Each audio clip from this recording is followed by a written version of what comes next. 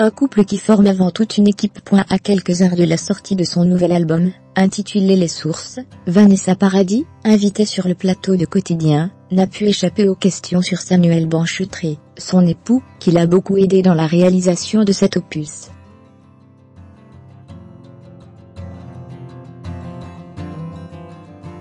Vanessa Paradis excelle dans tous les genres, sur les plateaux de tournage comme sur scène, l'artiste aux multiples facettes réussit l'exploit de se réinventer constamment.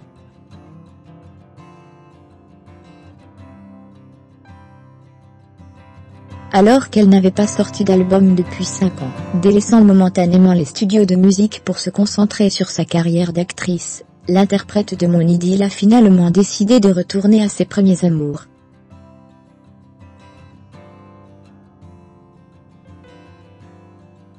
Le 16 novembre, elle dévoilera Les Sources, un album très personnel, écrit avec l'aide de son époux, Samuel Banchutré.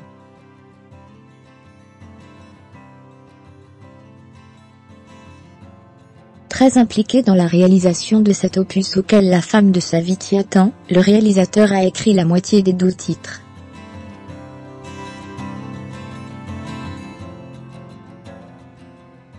Elle m'a fait écouter les musiques qu'elle avait en me demandant de réfléchir à des textes, ce que j'ai fait, confie-t-il dans les colonnes de Paris Match, sans pouvoir dévoiler trop de détails. Si j'en dis trop, je suis mort barre oblique.